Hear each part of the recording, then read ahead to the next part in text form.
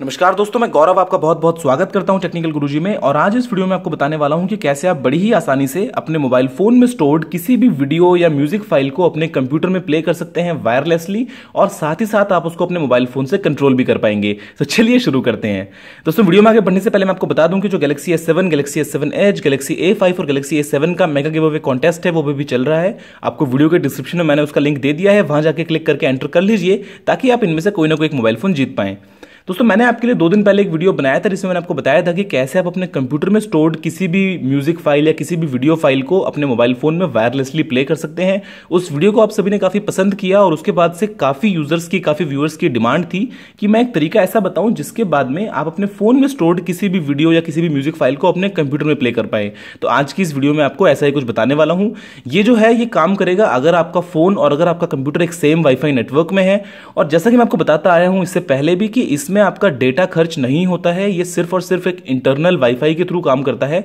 चाहे मेरी पुरानी वीडियोस थी, चाहे मेरी ये वाली वीडियो है, इसमें आपका डेटा कहीं पे भी यूज़ में नहीं आता है। बस आपको एक वाईफाई चाहिए, आपको इंटरनेट नहीं चाहिए। तो सबसे पहले आपको आपके फ़ोन में जाना है प्ले स्टोर में और एक एप्लीकेशन जिसका नाम है बबल एनपी फॉर डीएलएन आपको इसको इंस्टॉल कर लेना है। इसका लिंक मैं आपको दे रहा हूँ वीडियो के डिस्क्रिप्शन में और उसके अलावा आप चाहें तो प्ले स्टोर पर भी सर्च कर सकते हैं। काफ़ी अच्छी एप्लीकेशन है, मैं क्लिक करता हूँ इंस्टॉल पर और जब तक इंस्टॉल होती है, तब तक मैं आपको बताता हूँ कि आपको आपके कंप्यूटर में क्या सेटिंग्स चेंज करनी है और उसके बाद में हम फ़ोन में सेटिंग्स चेंज करके हमारा डेटा आपस में स्ट्रीम कर पाएँगे। दोस्तों देखिए, ये जो है, ये है एक विंडोज़ कंप्यूटर आपको सबसे पहले जाना है विंडोज़ मीडिया प्लेयर में। तो यहाँ पे है मेरा विंडोज़ मीडिया प्लेयर जब आप इसको खोलते हैं तो यहाँ पे आपको कुछ इस तरीके का लेआउट दिखेगा। हो सकता है कि आपका लेआउट थोड़ा सा अलग हो। यहाँ पे एक ऑप्शन है, आपको देखेंगे ऊपर टॉप लेफ़्ट में स्ट्रीम का। आप स्ट्रीम पे क्लिक कीजिए। आप क्लिक कीजिए मोर स्ट्रीमिंग ऑप्शन पे। उसके बाद में यहाँ पे देखिए आपको दिखाएगा show devices on local network तो यहाँ पे आपको लोकल नेटवर्क की जितनी भी डिवाइसेज हैं आपको सब पे दिखा रहा है और यहाँ पे बस अलाउ ऑल पे टिक किया हुआ है, इसका मतलब कोई दिक्कत वाली बात नहीं है, एकदम सब कुछ ठीक है। आप इसको क्लिक कर दीजिए नीचे से ओके उसके बाद में यहाँ पे स्ट्रीम पे क्लिक करने के बाद में allow remote control of media player ये जो ऑप्शन है allow remote control of my player आप इसको इनेबल करना है, इस पर आप क्लिक कीजिए, और यहाँ पे आप allow remote control on this network पे क्लिक कर दीजिए, और आपका काम बन गया, बस। आपको कंप्यूटर से इतना ही काम करना है।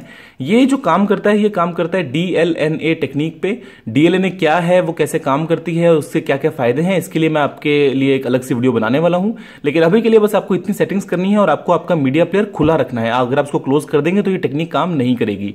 चलिए, ये सेटिंग्स तो थी, बस कंप्यूटर में हो चुकी हैं। अब देखते हैं कि फ़ोन में बबल यूपीएनपी से आप क्या कुछ कर सकते हैं? तो दोस्तों देखिए, ये था फ़ोन। बबल यूपीएनपी जो है इंस्टॉल हो चुका है। मैं इसको ओपन करता हूँ।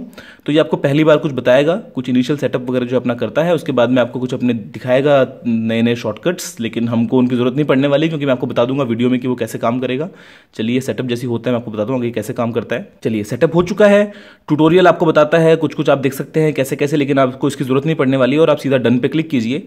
अब देखिए, डन पे जैसे आप क्लिक करते हैं तो ये आपका लेआउट कुछ इस तरीके से दिखता है। इसमें आप जब लेफ़्ट साइड से स्वाइप करते हैं तो आपको यहाँ पे दो चीज़ें नज़र आती हैं। एक तो आता है रेंडरर एक आता है लाइब्रेरी रेंडरर का मतलब ये कि वो डिवाइस कौन सा है जहाँ पे आप अपनी वीडियोस को या अपने कंटेंट को प्ले करना चाहते हैं और लाइब्रेरी का मतलब ये कि वो डिवाइस कौन सा है जहाँ से आप कंटेंट प्ले करना चाहते हैं। देखिए रेंडरर पे मैं क्लिक करता हूँ और मैं यहाँ पे सेलेक्ट करता हूँ मेरा टीवी और जैसे आप देखिए टीवी जो है वो भी आ चुका है, एक दूसरा टीवी है, वो भी आ चुका है। उसके अलावा एडमिन जो है, ये जो दिख रहा है आपको विंडोज़ मीडिया प्लेयर ये है जो मेरे को सेलेक्ट करना है कंप्यूटर प्ले करने के लिए तो मैं इसको चूज़ कर लेता हूँ।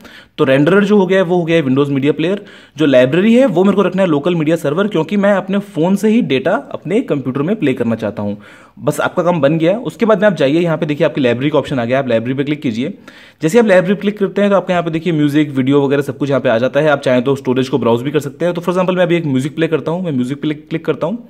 ये आ गया एल्बम्स आर्टिस्ट वगैरह। आप एल्बम पे क्लिक कीजिए तो ये देखिए एक सैंपल ट्रैक है। मैं इस पर क्लिक करता हूँ। और ये ट्रैक अभी कंप्यूटर पर प्ले होना स्टार्ट हो गया। देखिए, आप देख सकते हैं यहाँ पे नीचे बीट और मैं इसको अपने फ़ोन से ही नाउ प्लेइंग पे जाऊँगा। मैं यहाँ से पॉज कर सकता हूँ। देखिए, मैंने पॉज किया, मैंने प्ले किया, मैंने फॉरवर्ड किया। तो ये जो प्ले है, ये कंप्यूटर में प्ले हो रहा है। जिससे नीचे की तरफ़।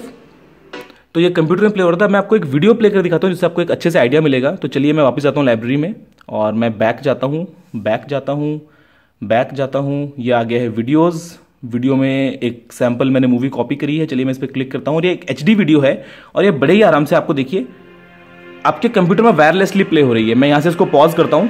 ये देखिए पॉज हो गया है। ये प्ले हो रहा है। चलिए, ये प्ले ये बड़े ही आराम से, आप अपने फ़ोन से, ये देखिए, इसको पॉज किया, इसको प्ले किया।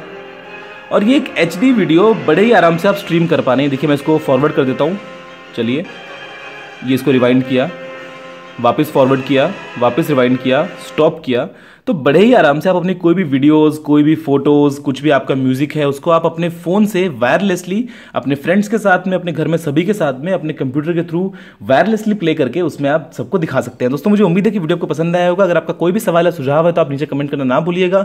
और अगर आपने अभी तक टेक्निकल गुरु को सब्सक्राइब नहीं किया है तो आप प्लीज़ इस वीडियो को लाइक और शेयर करने के साथ साथ टेक्निकल गुरु को सब्सक्राइब भी कर लीजिए, क्योंकि मैं आपके लिए रोज़ाना इसी तरह की अच्छी अच्छी अलग अलग टेक वीडियोज़ लेके आता रहता हूँ। अभी के लिए इतना ही।